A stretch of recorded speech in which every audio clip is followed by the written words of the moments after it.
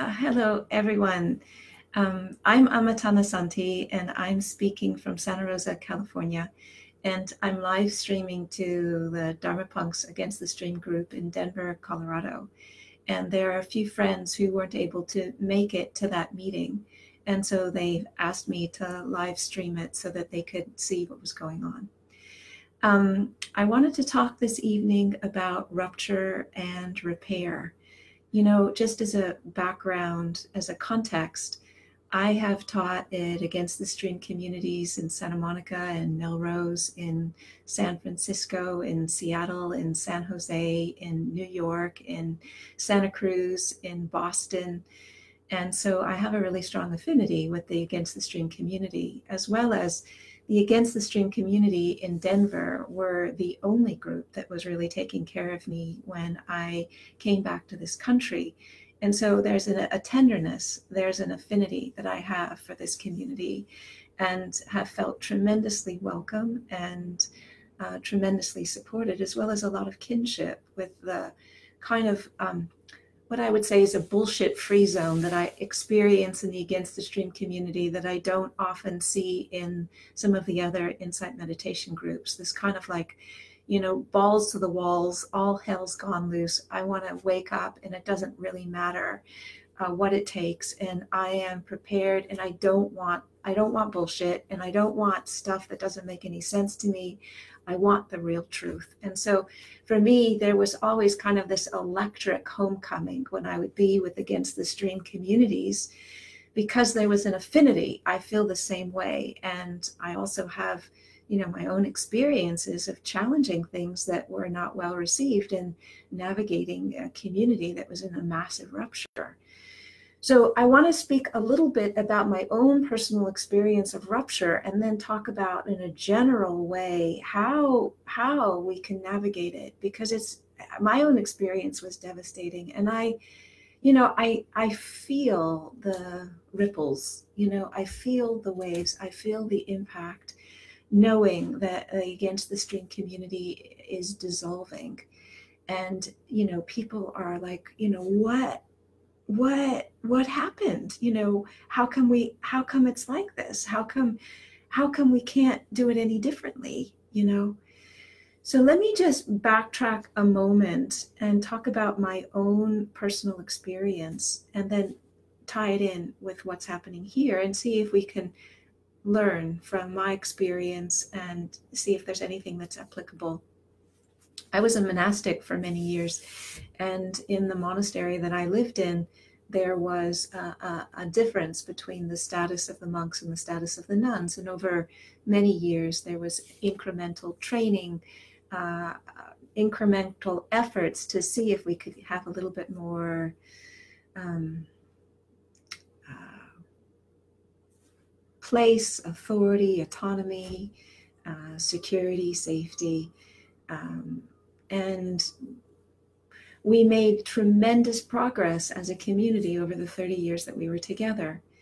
And then there was a whole bunch of things that happened, and there ended up being a massive patriarchal retrenchment. And it was as if the time had been turned back many years, and um, there were all kinds of things that were being said that were not in accordance with the Dhamma and harmful and hurtful to us as a women's community and hurtful to us personally and insulting and and and we were in shock you know what on earth is happening and why is this happening? And and and so we were trying to figure out what on earth is happening here and why is this going on? But we were not in the position of being able to have a, a an an independent investigation and there was no letter of acknowledgement of what had happened. There was no result of an investigation. And so uh, in our own personal experience or at least my experience i can't speak for the other nuns there was this massive amount of confusion and a feeling of betrayal and uh, dismay that that that this kind of stuff can happen in a community of people who are like hardcore lifetime committed to awakening okay that the leaders of the community were were dishing out stuff to the nuns that was unpalatable. You know, it was not acceptable. And we didn't have an easy recourse recourse as a way of negotiating it.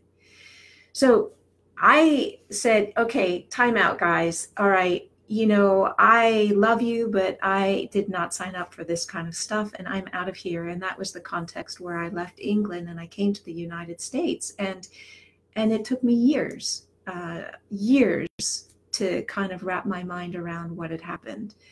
And I don't want to go into all the specifics because I don't think it's particularly relevant um, for your circumstance.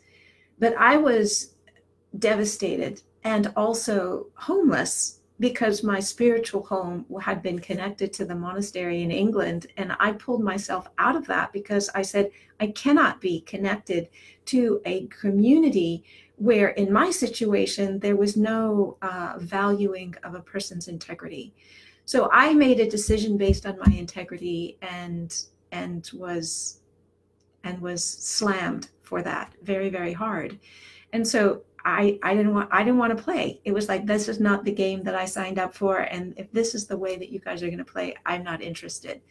So I left, but I was shaken, and I was shaken into the marrow of my being, trying to wrap my mind around what happened. You know what what happened? How is it possible? How on earth is it possible that you can have a, a community of people who are committed to awakening? And dish out this kind of stuff, which I experienced as directly harmful with no recourse as a way of addressing it and no accountability of what was going on or a community response that made any sense to me at all. So, what ended up happening was the community of nuns kind of um, had a really big impact, and more than half of the nuns who were in the community left. And of those half that left, more than half disrobed. I stayed for eight years as a nun and lived as an independent. And there were satellites of other nuns in Anandabodhi and Santacitta and and Santussika uh, are independent, and Aya Upeka is independent. Um, but most of the other nuns that were in the community have since disrobed. So so we're left with this massive amount of cognitive dissonance between the actual teachings and the direct experience of what happened. And in my situation no forum. There was no the teachers council there was no uh, board of directors there was no grievance council that was engaged in any kind of a process of reparation to help hold it. I was on my own with the support of friends and support people, therapists and and healers and the land to help me make sense out of this mad shit really that went on. I mean, it was just like you've got to be joking kind of stuff, okay? So, this is in a monastic community, all right, with people who are committed to a high level of integrity and a tremendous level of the, the tradition is renowned for a tremendous level of integrity and, and renowned for keeping a very high level of purity. And in this context is where it happened. All right. So it is, and it is devastating. You know, I left, I left England and came to this country, and it took me five years before uh, I, I could release some of the trauma of that experience out of my system and so it absolutely is uh, uh, disconcerting. It is confusing. It is disorienting. There's a tremendous amount of cognitive dissonance around trying to wrap your mind around how on earth is it possible that these things can happen from teachers who are not only committed to integrity, but many, many, many, many years, decades of practice. Okay, so uh, there's a whole kind of story around why this stuff happens, and it might be helpful for me to share you what my explorations came to in terms of being able to understand it, because the eventual, there's levels there's the level of navigating the trauma. So I had personal impact. You know, my body felt as if I had been physically assaulted, even though I wasn't physically assaulted. I had other assaults coming at me, and my body experienced it and internalized it as if it was a physical assault. And so there's the physical healing, there is emotional healing of trying to come to terms with what happened and making sense of it. Then there's the faith component of how on earth can this take place in a community that is committed to awakening? And then there's the practicality of, well, now what do I do? And where do I practice? And who are my peeps? And what what do I do with my life and my passion for awakening? And do I throw the whole thing out?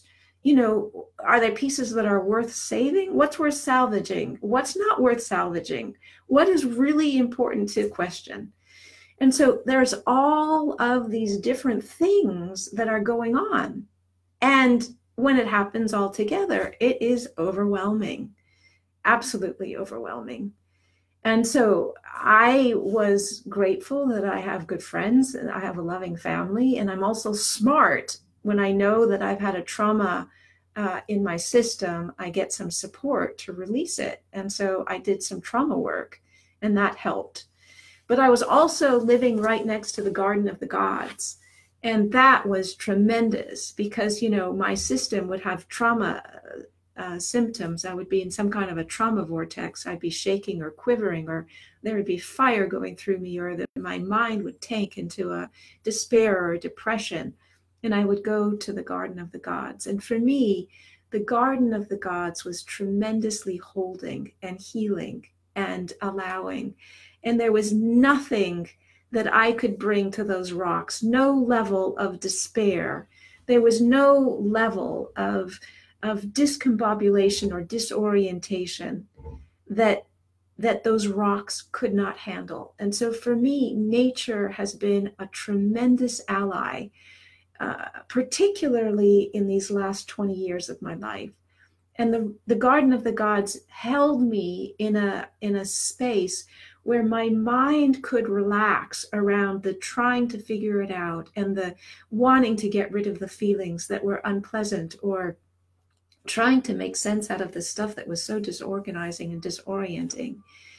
And I would go and I would press my body into these 160 million year old rocks.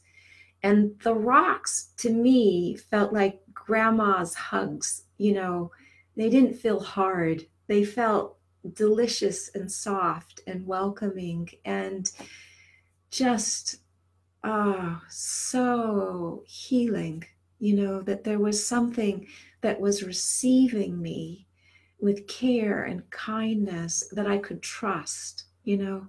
It's like, what do you trust when you can't trust? You know, it's like, where, what do you do when you can't trust? You know, who are the people you can trust when the people you had trusted in the past were so disappointing and did things that were so hurtful and didn't acknowledge it you know? So I would go to the Garden of the Gods and I would just let my body relax into the rocks and let them hold me. And as they held me, my mind would begin to unwind and I would move into the spaciousness of awareness. And in the spaciousness of awareness, the mind would stop trying to figure things out, it would release the identification with the sensations in my body, with the confusion in my mind, with the turmoil in my heart. And it would just move out into this wide open place that was expansive, that was peaceful, that was holding, that was loving, and that was ever present. And I would hang out there and then and then when I would hang out there for a long enough period of time, my attention and my awareness would come back into my body. And and then from having connected with that spaciousness, that awareness, I could come back into my body and I could feel I could feel what was going on in my body from a different perspective. It was the perspective that actually had some view rather than uh, being embroiled. And so when I was able to connect with something that I could genuinely trust, then it put into perspective the feeling of like, what do you trust when you can't trust? You know? It didn't, it it it it contextualized it. And so that I could see it as an arising concern within the context that I was navigating, but that was not coloring my whole experience my experience was connected to something that in Buddhist language we could say was refuge, you know, that was timeless. And for me, my refuge in what was timeless, I had easiest access through nature. So then I would come back and my body, I would feel more calm and more settled and I wasn't so distressed. And then I would start to think, okay, so all right, I'm not so distressed. How do I make sense out of what has happened? And then I think for me, one of the greatest things that has supported me in making sense out of what has happened is my parallel interest in study in the Ken Wilber's map of the developmental stages of uh, lines of development and stages of development. And so, because it was something that I was aware of, I was aware of before I left the monastery. You know, none of the nuns were oblivious to the fact that most of our teachers had quite a lot of stuff that hadn't been integrated you know it was clear to us and and so some of that stuff crystallized and came out in in uh, really ugly ways and were was incredibly harmful and and yet so it was of an interest to me to try and understand what is actually happening here and so for me the my my study of Ken Wilber and my study of integral maps really helped frame some of what we were navigating. And so the, the integral frame really explores the fact that from a developmental perspective, you know, we can be have a tremendous amount of depth in a spiritual context, but on a personal level, there can be all kinds of things that are not integrated. And so um, you can and we i could see i could see that living with the people i was living with in the monastery it was obvious that this was the case and so many of my teachers and many of my colleagues had really a profound understanding of the dhamma and could speak eloquently about the dhamma but in terms of navigating some issues around power some issues around misogyny some issues around um, desire uh, they hadn't done the work and so that stuff was shadow. And that shadow stuff, when the conditions were ripe, came out. And sometimes it came out in ways that was ugly. And we navigated in the context of a monastic context where we used the monastic Vinaya as much as we could to help support uh, coming to resolution around these things. But the nuns were in a precarious position because we didn't have the same legal standing as the monks and we didn't have the protection of the Bhikkhuni Patimokkha. And so we were between, um, we didn't have the same legal standing. And so it was challenging to use the Vinaya, the monastic discipline, to protect ourselves in the same way that a fully ordained Buddhist nun would have been able to because we didn't have that ordination. So we tried as best as we could to um, speak to issues from the perspective of the impact that was having on us and trying to bring a cohesiveness to the community as long as we could. And for me, that was a passion of mine to try and get the, cohesiveness in the community to address this as a global concern so that we could move together as a group.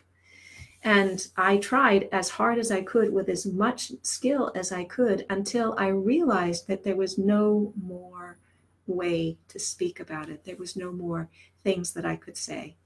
And so I think on that level, there's a parallel with what I uh, have understood has happened in the Against the Stream community. And so, you know, I don't have any direct information from anybody about I don't, I don't know anything about what was in the reports. I don't know anything like that. But what I think happened was that there was an effort to try and figure things out. And there came a point where the, the, um, it became clear that it wasn't tenable any longer to try and continue. And so that clarity then meant, even before the report came out, that the, the inclination from many of the teachers was is that they were no longer interested in being connected and associated with Against the Stream. And so it wasn't a financial problem. It was a problem that they had reached a point where they were no longer interested in, in playing as a part of this game and that they wanted to move on and so the the consequence of that is is that the there's against the stream is is unsustainable. And so on one hand it's, it's devastating. You know the against the stream community has been a community that has served a, trim, a large number of people who are sincere and dedicated. And on another hand you know this is the cause and effect of what happens when the rupture is at a certain level that it is beyond repair, that there's no way to actually repair the rupture. And so then you what you do in the way that what I did was I said, okay, guys, I love you very much, but this is not what I signed up for. I'm leaving. And so I left England. I left the formal affiliation with the monastic community and came to the United States as an independent monastic you know, with nothing, thinking that just by the faith of the Buddha Dhamma and by the integrity of my practice, you know, I'll figure it out, something will work out. And I lived for eight years this way, and then it became clear that that was no longer serving me. And so I relinquished my monastic robes. And I have no regret that I did that. You know, it hasn't been easy, to say the least. It hasn't been easy, but I have no regret. It was the right choice for me. And so I feel for the Against the Stream community having come to this place of rupture. And now people are in a place of, well, well, now what? And how do we heal? And where do we move forward? And what's next? And what happened? And, you know, I was in the monastic community, you know, and I still don't know what happened one of my colleagues who was a nun and disrobed, she says, I have no idea, I don't know what happened. So, on some level, even if you are in the middle of it, and even if you are in the inside circle when it's all happening, there is still is, I don't know what happened. So, there isn't a way that this question of what actually happened is going to be something that is going to be able to be answered. Because even in my situation, where I was in the middle of it, I still was left with what happened? How on earth could this have happened? You know, how does this happen? So let me go back to Wilber and the maps, and then I'm going to talk about repair, and then I'm going to stop and open up for questions. So the integral maps talk about different lines of development and you can be spiritually developed in some areas and be emotionally develop, undeveloped in other areas. Now from the buddhist perspective when you have attained to the first or the second level of awakening then there are certain things that it's just not possible to do. You know after the second level of awakening the level of anger and ill will and desire has been mitigated. So there's some things that are just not possible to do. But the reality is that it is possible to be a charismatic and skilled Dharma teacher and still not have attained to those levels.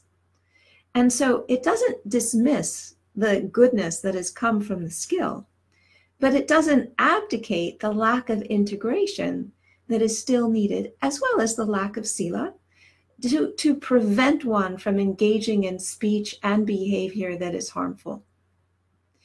So it is true that it's possible to be a dedicated and committed Dharma practitioner. And in my situation, my teachers had been at it for decades and still have significant unintegrated issues around their own anger around their ill will, particularly towards women, and the way that that came out. So the Wilber maps actually paints a picture that says this is actually something that you can expect. This is not unnormal. This is what you can actually expect. That a contemplative practice on its own by itself does not necessarily mean that everything is going to be integrated across the board. Where people are not only going to be wise and compassionate, but they are going to be able to understand their own needs, be able to track them, be able to track them without them being at an expense of somebody else, and to be able to understand other people and diverse people's needs and be an ally and advocate for them. So, in the monastery, you know, we went up and down between whether the nuns were loved and cherished or whether we were somehow, you know, like third class citizens that were just allowed to be there because they were being generous to allow us to stay. You know, it was just all kinds of nonsense that we went through. And we went through that for decades. And for me, I survived that or I was willing to go through that because my faith and conviction in the Dharma was so intense that I felt that even if the circumstances that I'm navigating have an awful lot of things in them that are unworkable, the Dharma by itself is tremendously powerful and can lead to liberation. And so I was committed to liberation. That was my, that was what I was bought into. And it was only when I saw that there was a rupture with my capacity to trust and have confidence in the teachers personally and in that container specifically that I said, I can't do this in this particular context. So, integration is not an inevitable process of meditation practice. And this is a disappointment for many people because I was told, and the teachings come across to say that if you meditate long enough and dedicated enough, then that is all you need. All of the work that you need to do will be resolved through meditation. And that simply is not my experience. My experience is that meditation is absolutely invaluable, but we also need to do trauma work. And it doesn't automatically show up the places where we are not integrated around issues of our own hunger or fear of power. And it also does not necessarily show up around our unconsciousness around other people's needs. So, having gone through all of this, how do we heal? How do we repair? How do we move forward? What do we do? Where are our people? Where are safe enough that we feel comfortable to go in and even trust enough to listen to what a teacher has to say? And I can share with you things that work for me, but I cannot answer those questions for you. I can encourage you to continue with those questions and continue feeling them out but I cannot give you the answer for what is going to be the thing that's going to work for you. And so we first have to start with the immediate of where are we at. And if the immediate of where are we at is that we are completely traumatized, then we need to recognize that. And then we need to get safe. And then we need to get support that is trauma wise. Trauma wise is not usually about meditation. It's about a very specific way of titrating our attention with things that are pleasant, with the sensations that are connected to the trauma, so that we're not constantly reliving the loop of the story. What we are doing is moving into the unpleasant sensations and titrating it. It means doing it in a measured amount with also an, um, connecting with where we feel safe, where we feel loving, the support that we feel from our friends, from our family, from nature, so that we are constantly moving back and forth in this like this weave of touching where we feel okay and then coming back into the sensations where we're not. And trauma is best done with somebody who understands this territory and can help guide you. So, even after decades of my own meditation practice, and even after the level of sophistication that I have about trauma, the attunement that I have about my own process, the trauma therapist that I worked with last said to me, even with you, you are much better off working with a trauma therapist than trying to do this on your own. And so it's it's humbling, but that's the truth. And so I seek out therapy when I am in a trauma vortex. And I probably need to do more of it than I have, you know, because there's been a lot coming at me. But so I encourage you to do that. Okay. So if you're in trauma, you need to have trauma support. If you are emotionally dysregulated, then what you need is to have friends and support around you that helps mirror to you you're not insane. You're not nuts that all of this is disorganizing and dysregulating. That's a normal and natural response to have this level of disturbance in your world. Okay? Emotional dysregulation takes a while to heal from, and it's not a simple weekend project. What is helpful is to feel an affinity with people that you trust, who have a language that you resonate with, who have a level of integrity that you can respect. Okay? There is a big question about how is it possible that people who are so committed to meditation practice can be so unintegrated. I mean, I was a monastic. My teachers were monastics. They were teachers for decades, and all of this stuff was coming out of them. It is a valid question. It is not an irrelevant question. It is a valid question. And this question actually needs to go back to the Dharma communities, to the teachers' councils, to ask this question of how is it that the teachers are coming out of this process where there is such a lack of integration. And what can we do as a community of dharma practitioners to increase the level of integration that happens? So when there are doubts that are worthy then it's important to allow them to be there and to wrestle with the agony that they bring, which is that the confidence that we had that the Dhamma is going to be able to help with everything is shaken. We recognize that we need other things. Now, I can talk more about my own personal experience of that and what I have done and why I advocate a whole life path and why I have an amalgamation that includes both the classical Dharma teachings as well as as, as well as an uh, as an understanding of our psychology and how to move between these two. You know certainly as a life coach this is what i do with my mentees you know as i help them with their dharma practice and i help them with their integration of where they're at psychologically and this is what I want to teach, and this is what I want to evolve.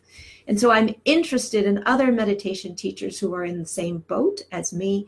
I'm interested in collaborating together and finding ways to bring this out in a way where we bring about a greater level of integration in the communities, in ourselves, and in our mentees. That's what I'm interested in.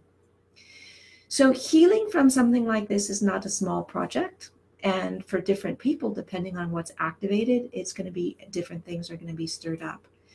When you've got allegations of sexual misconduct when you've got issues of power dynamics when you've got a whole community dismantling you're going to have issues of homelessness and abandonment and betrayal. All of this is going to be up. And so on one hand it's really really shaky material and on another hand it's an incredible opportunity you know not to be Pollyanna ish, to just put a pink smear all over everything. But when all of this material is activated, then it is ripe to be able to look at it afresh and to get underneath it from another perspective to see if there can be another layer of the onion clearing out. So, for myself, I had to come back to basics. What do I trust? Okay, so there's things that I don't trust. I don't put my attention and energy into things that I don't trust. What do I trust? I trust that living with integrity does make sense. It does not make sense to harm people. So it doesn't make sense, even though I was harmed, to retaliate with harm. That does not make sense. Okay. It makes sense to live with integrity myself. It also makes sense for me to have the kind of space to be able to heal in the way that I need with the time frame that I need. So for me, I was kind of wedded to the garden of the gods. And people tried to get me to move away from the garden of the gods because it wasn't practical to be living in Colorado Springs as an alms mendicant Buddhist nun. And it was like, I don't care that it's not practical. It might do me in, but the garden of the gods is my anchor to something that allows a profound healing and transformation. And so I would not, I wouldn't move. I wouldn't move. And there were times when I would have to run to the garden of the gods because I'd get activated and my whole system would be dysregulated. And I, would, I didn't have any way with meditation practice by itself to help me get regulated. So I would run to the garden of the gods and I'd lean into those rocks and they would help me. And so the practical reality of trying to move forward now with the communities dismantling is going to be something that each small community is going to need to figure out on their own. You know, the nuns were decimated. We scattered into the 10 directions. There are nuns on, and post monastics on, on six different continents. I mean, it's just like all over the place, you know, four different continents. I don't know how many, but all over the map. Okay. So it was absolutely devastating this this this community that had been together in such an intimate and close way was scattered in the 10 directions with with hardly any way of coming back together again. So then there's the question of division of who believes what and how you feel about the people who believe different than you do and so in my situation, there were people that absolutely were supporters of the monastery and the teachers and wanted to protect it at all costs. And they had very little capacity to actually hear what was going on for any of us that had been impacted in a really big way. They didn't want to know. And they were not interested, they were not very welcoming, and they were not very supportive. And then there's the people who have been impacted who feel a solidarity with each other who've been impacted and feel a sense of dismissal and dismay about those that are on the other side. So I when I was in Australia, I was living in a community and during the time I was living in the community, somebody had very, very serious sexual allegations of sexual misconduct against him. And I and I spoke to the person in that community and asked her, you know, what happened around all of that. And she said the nature of those particular allegations against that person was is that the community was divided. It was a divisive thing. And the reasons why in that specific circumstances, why it was so divisive was because the allegations were extremely serious and he denied them. And so there was those people who thought he was innocent and those people thought that the evidence was suggestive of the fact that he wasn't innocent. And these two sides were unreconcilable. And so my friend convened a meeting of both sides with this explicit purpose of trying to find what they had in common. And the only single thing that they had in common was that they could not bridge for the other side. If either side tried to bridge for the other side, they would be seen as betraying their side. So the one single thing that they both shared in common was that they could not bridge. Now, when they focused on that one small thread, that gave them a context where, in that awareness, they were not trying to blame. They were not trying to figure out who was right. They were just cognizant of the fact that they shared that in common. They could not bridge between the two sides. So, in this kind of a circumstance where there is division and it is systematic, and there are going to be people that have different opinions, and some people are going to continue to support Noah and his teachings, and there are people who are not there's going to be a systemic division in this in the whole system. And so I offer this as one place to focus on as a way of moving into a, a, a place of focusing attention where blame has no foothold. It doesn't solve the trauma, it doesn't solve the emotional dysregulation. It doesn't solve any of the logistics that individual communities are needing to navigate about what do they do, who are they affiliated with, where do they practice, who do they practice with. But it gives a tiny little foothold that is free from blame as a place to move forward. So when we as- ascribe to the precepts to do no harm, then that is to do no harm to ourselves, to do no harm to other people. That doesn't mean that we can't be angry, we can't be pissed off. But it is helpful when we're angry and pissed off that we speak in confidence to people who understand how to process that rather than use public media forums as a way of discharging our anger, particularly when we're targeting individuals in our discharge. Then there's the Dhamma. What is still true about the Dhamma? So, in my own personal experience, I can see, and I can say with quite a lot of confidence, that I don't think the Dhamma is the only thing that people need in order to be integrated. But I haven't thrown it out of the of the I haven't thrown the baby out with the bathwater. There is lots of ways that it's clear that when I focus on unskillful things, it has an unskillful result. When I focus on skillful things, it has a skillful result. The teachings of the Four Noble Truths still hold true. Many of the specific teachings are not discounted, even though I have questions about why there is still such a lack of integration in teachers after applying these teachings. So the teachings themselves still have truth in them, even though I would love to see a process where there is more integration in the teachers and in the communities, particularly around the issues of power and getting people's needs met and advocating for diverse people's needs without it being at somebody's expense. So, this is a lot, and hopefully, this is helpful. And I want to pause here and invite comments or feedback or questions. And because I'm also connected to the Against the Stream community in Denver, I'm going to ask them to speak. And if they speak, because I'm plugged in, I can hear them, I will repeat their questions and answer it.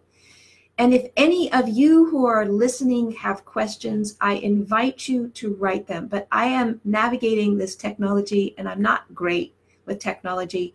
So forgive me if I if I miss a question. Okay? So you are invited on the live Facebook to ask your questions now and and I will do my best to respond. So um, for the Denver group, so my eyes are up because I've got another widget that I'm looking at uh, to see them. For the Denver group, if you guys have questions or comments that you want to bring forward, my my request would be that you you come close enough so that I can hear you speak.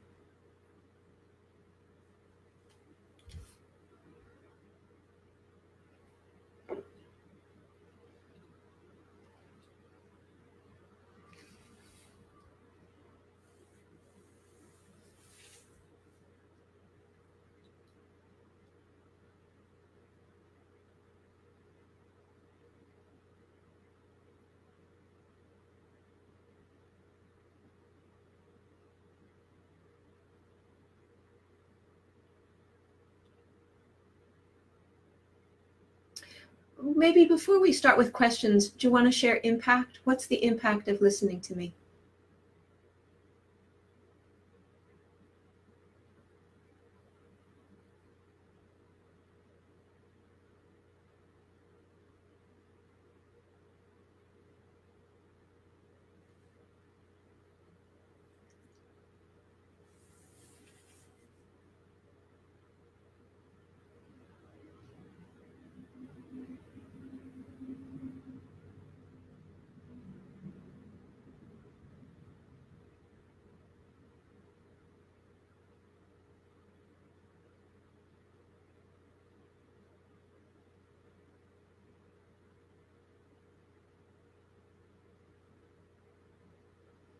So the comment was there was an appreciation for um, uh, there was an appreciation for my experience of speaking about in the monastery and to recognize that teachers uh, teachers may have a be able to speak about the Dhamma and still have work that they need to do themselves. Any other impact?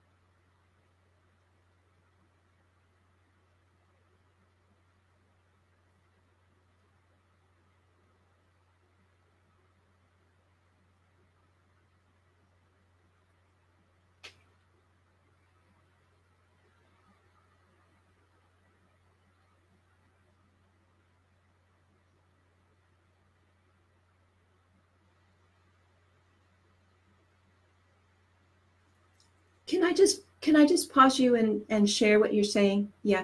So the person. Okay.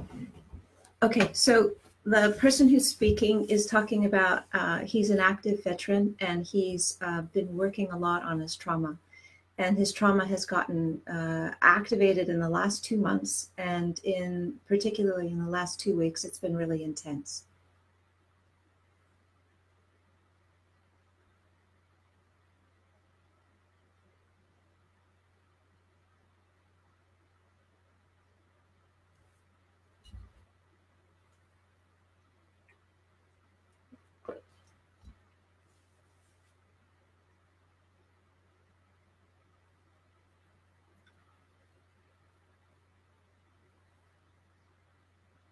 So let me let me just pause you. So he's just coming out of a retreat. I, I don't know the name. Skills based. What is it?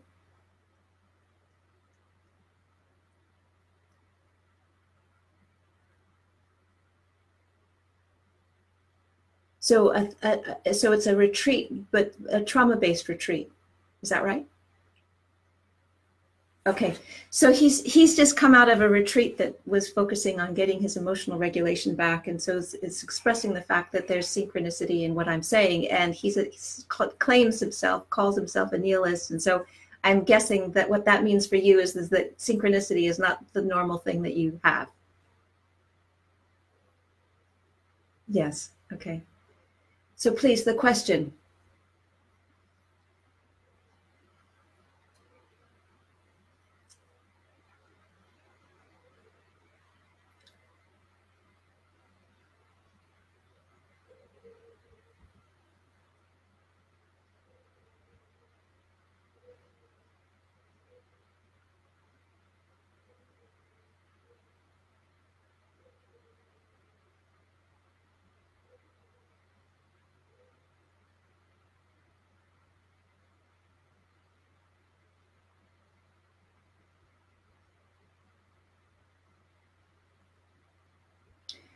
So the question is, is, is with somebody like this, like him, who's got the background that he described, dealing with uh, such amount of trauma, what's the best angle in with the Ken Wilber maps? Well, I think you're doing it. You're totally doing it. You're actually engaging in the different kinds of therapeutic processes that help you navigate the things that you're working on. And as you experience more emotional regulation, then what is helpful is to have a practice that includes support so that you have more uh, skill, not only in the contemplative level, not only in, in the trauma realm, but also in understanding some of these other areas as well physically, physical health, emotional health, developmental health, you know, creative health, um, things like that.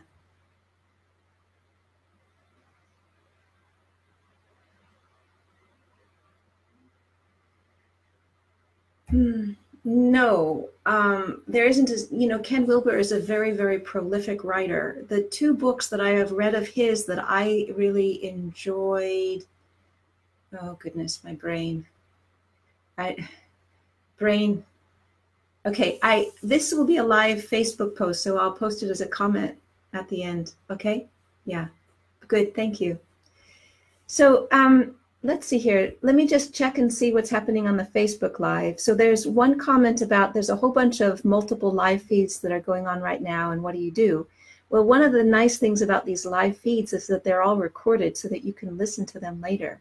So you don't need to worry about that. Um, you can just pick one and focus in on it, and then um, uh, you don't you don't need to worry about what's happening. What you need to do is to move in the direction of where you feel the most nourished, where you feel the most support, not to worry about what's happening. And, and then from feeling nourished and supported, then you will find a way forward in terms of what's next and what needs to happen. Are there other questions?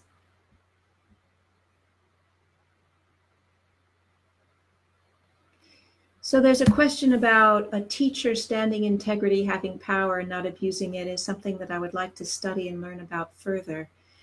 Well, I think as human beings, you know, one of the things that I say often is that people are peopleish, you know, and that's true for all of us, that people are peopleish. And um, some things are very compelling, and, you know, power is compelling power is not a gender specific thing that's compelling. It's compelling for both men and women, and probably it's compelling for people who are bi- non binary. You know, I, power is something that is compelling. And so, learning how to navigate power and talking about it, dealing with it, working with our, our hunger for it, our fear of it, is not something that we teach directly in our meditation so our meditation is based on the assumption that if we are able to um, penetrate sufficiently into the nature of greed, then that by itself is going to span through all of the hungers. And that does at very profound levels.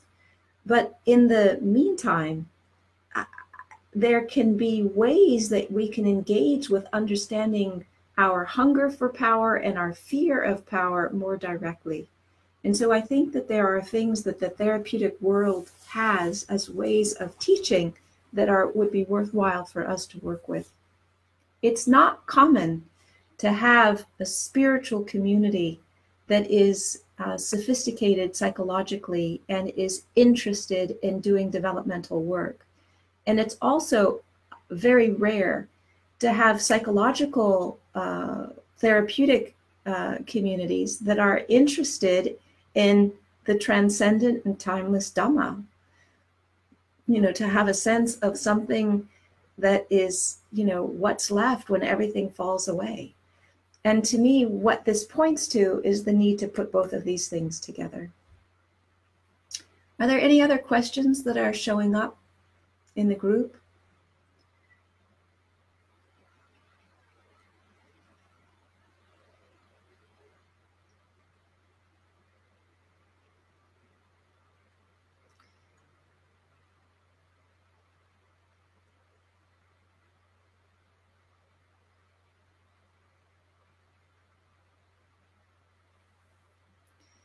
Well, if if not, then maybe let's just take a moment and pause and do a couple minutes closing loving kindness meditation. Okay? So wherever you are, whether you are listening live or you're in the group in Denver, or whether you listen to this recording afterwards, wherever you are, just take a moment and and and let yourself feel at ease sitting. And just take a moment and turn your attention to what's present you know, I spoke a lot, and it's quite possible that you feel activated by what I said. It's possible that you disagree with some things that I said. It's possible that you resonated with things that I said. So, whatever is going on for you, just turn your attention for a moment and feel what is present in your body. Feel the sensations in your body. Feel the quality of mood that's in your heart. Feel the quality of mood that's in your mind. And just allow it to be there.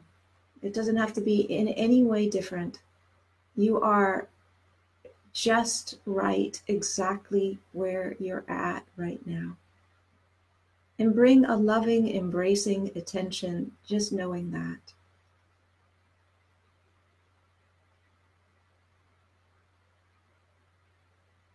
And as I do that, I just notice I breathe deeper and my spine elongates and my shoulders relax. And I release some tension that I'm holding. Even just talking about it, I release some tension that I'm holding.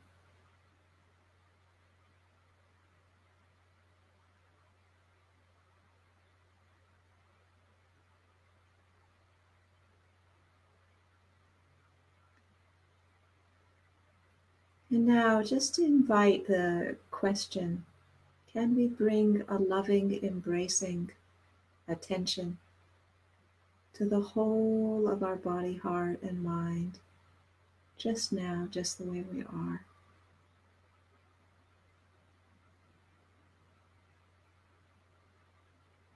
And if the answer is no, then just relax with that no. You can't find it to bring it. And I invite you to bring to mind the image of someone or something that reminds you of loving, caring, embracing, affection, tenderness. Could be somebody that you know, it could be a friend, it could be a, your, your dog or your cat that snuggles up with you, purrs.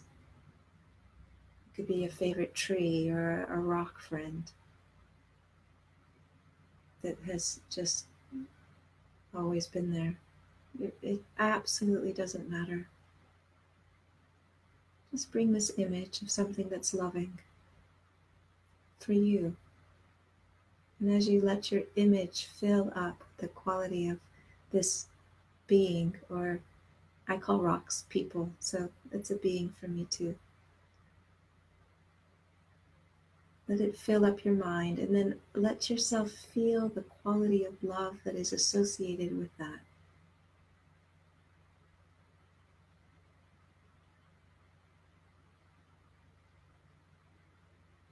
And as you feel the love that is associated with that, let that love get stronger.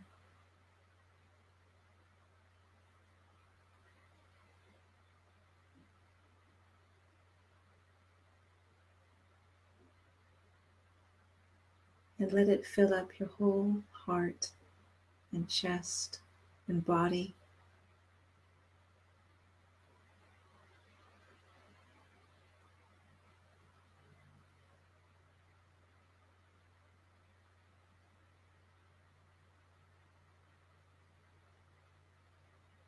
Let it soothe everything that feels frayed and torn and jagged and hurting and displaced and confused and angry and betrayed and pissed off, and resentful and numb, traumatized, scared, uncertain. Not by making any of those things go away, but by just touching them, embracing them, letting them be there.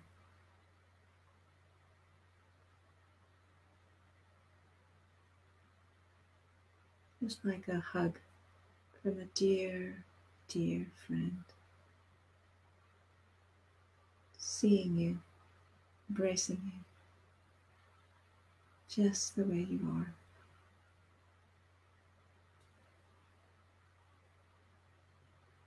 And so just filling that up, feeling that in your body. And it might be that it might take a while before you can fill it up in your body so that you have anything whatsoever to share. And trust that. Trust that.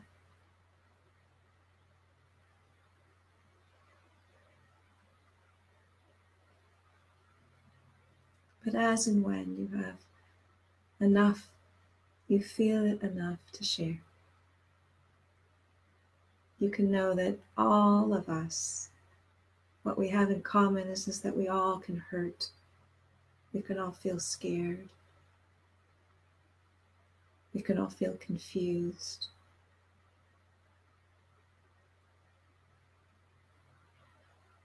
We all need love affection.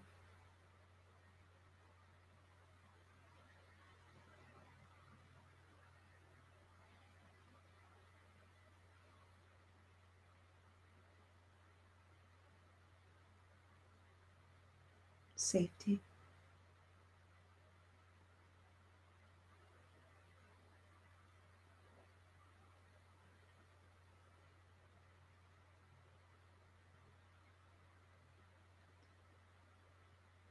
But without pressurizing in any way whatsoever. Just allow yourself to feel the love. Fill it up and let it spill over.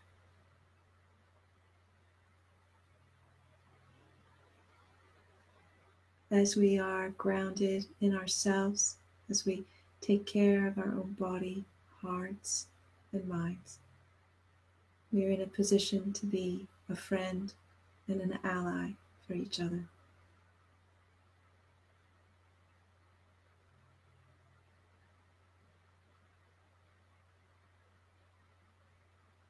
I want to end with one more thing.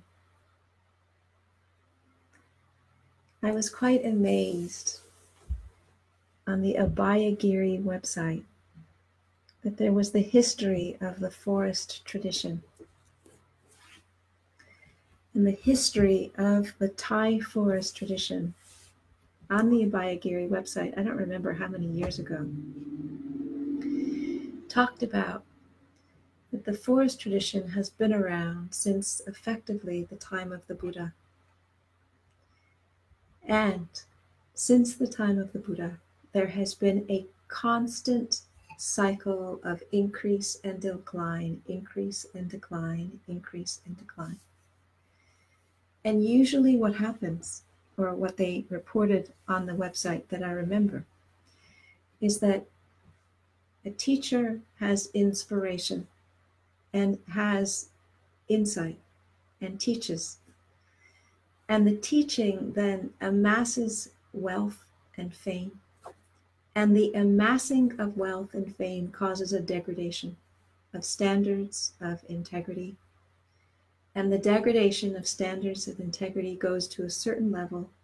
And then at that certain level, then there's a re emergence, a resurgence of people who are interested in the genuine Dhamma.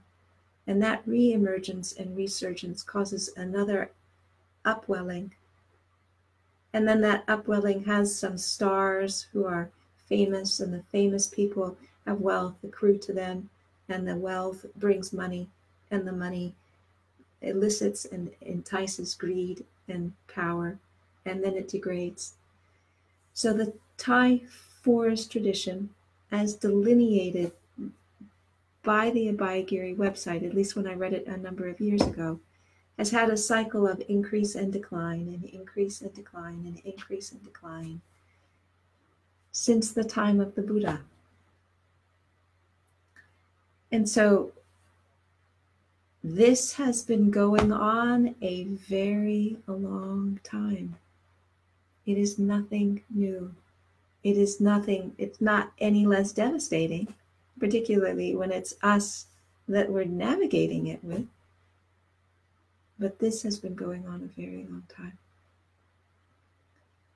And so my heart is with you, just as my heart was absolutely devastated by what I went through. And yet I feel that the level of integrity that I have observed, the letter that the, was just sent out was incredible. I never received a letter like that. I was never in a, a place where I felt that people were willing to even hear what the complaints were and have an investigation. So the level of integrity from the Against the Stream Teachers Council and Grievance Committee and the board of directors was awesome. And together, bit by bit, with communities looking at who are the teachers, where are the affinities, the logistical complexity of what you're navigating will begin to sort out. Ways we'll find a way forward.